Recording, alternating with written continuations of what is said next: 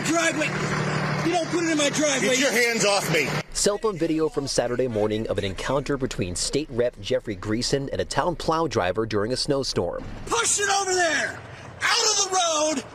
Over there. Paul Manson, the snowplow driver behind the camera, says Greeson stepped in front of the truck and refused to move while he was trying to clear the road. I started to get out of the truck and he uh, got right up to my face and started yelling a little bit more. And I jumped back in the truck and got my phone. Now you get this attitude. Manson says he didn't know who Greeson was, let alone that he's a Republican House rep for Wentworth. That's no way that state representative is going to uh, treat anybody. Um, if he treats me that way, how's he treating anybody else? Is how I think about that. In an email to News 9, Representative Greeson wrote in part, I haven't seen whatever video you are talking about, so I don't know what it shows. I had a heated exchange with a man. I apologized to the man. He accepted my apology.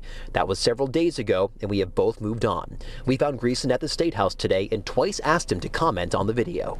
Representative Greeson, do we have much moment of your time, sir? Well, first turn off the camera, let me ask you what it's about. No, no, please, no, turn please. go, to- we need you for a vote. Rep, would you like to comment on the, on the video? I already have, talk to your employees. And Mason said that he did get a voicemail from Greeson a few days later with an apology, but says the two men have not spoken since that interaction happened.